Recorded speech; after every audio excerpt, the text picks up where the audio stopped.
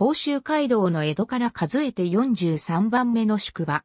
現在の長野県茅野市金沢に位置する。江戸から48里35町、上諏訪から3里14町に位置する。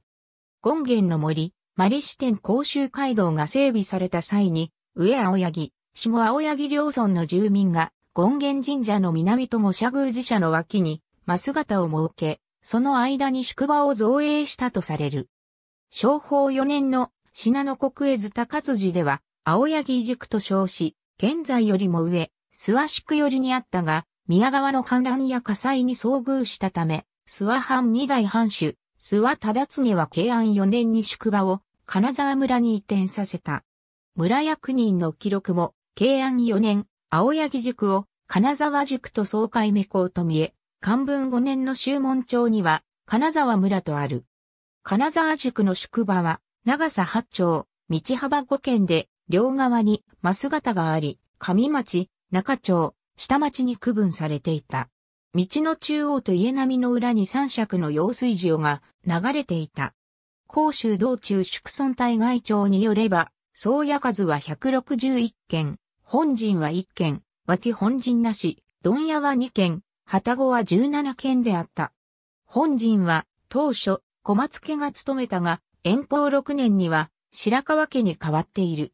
現在は本陣跡が消防の詰め所となっている。問屋役は15日交代で陣馬を継ぎ立てた。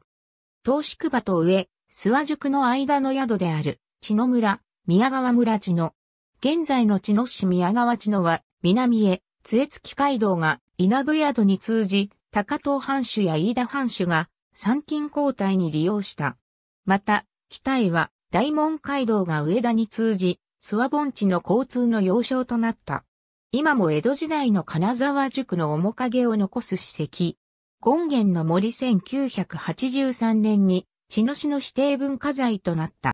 北国西街道青柳塾とは別である。小林勝郎、義民、小松三郎左衛門とその子孫甲州街道、金沢塾本陣問屋長野県諏訪市中央、企画出版、1986年小松家年譜、三章四代目、当主、小松三郎左衛門の代で断絶された。武田信玄の開いた近景金山で働いていた金山州が金山に祀られていた金山権現を移築したものと伝えられる。ありがとうございます。